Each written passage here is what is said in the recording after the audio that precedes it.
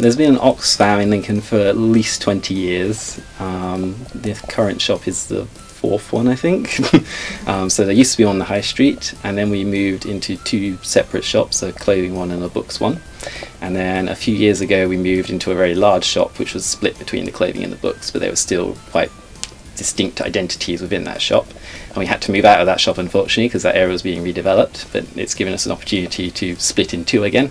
Mm. So we've now got this shop on the high street right now, and we're looking forward to opening a separate bookshop soon.